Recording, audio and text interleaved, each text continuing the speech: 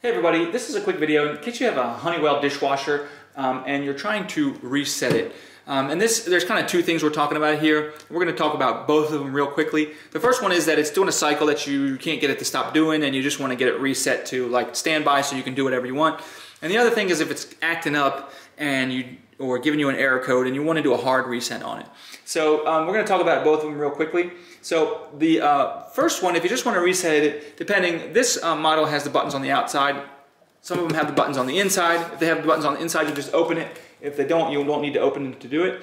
Just press and hold the start cancel button for three seconds and it will drain it out and get it back into standby mode and then you can start whatever cycle you want.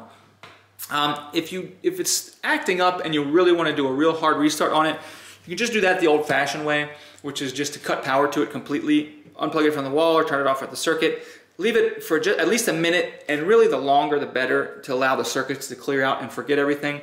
Um, once that time's up, you can restore power, turn it back on, and it'll go through like a little startup default cycle, um, and you'll be good to go. Thanks a lot for watching. Have a great day.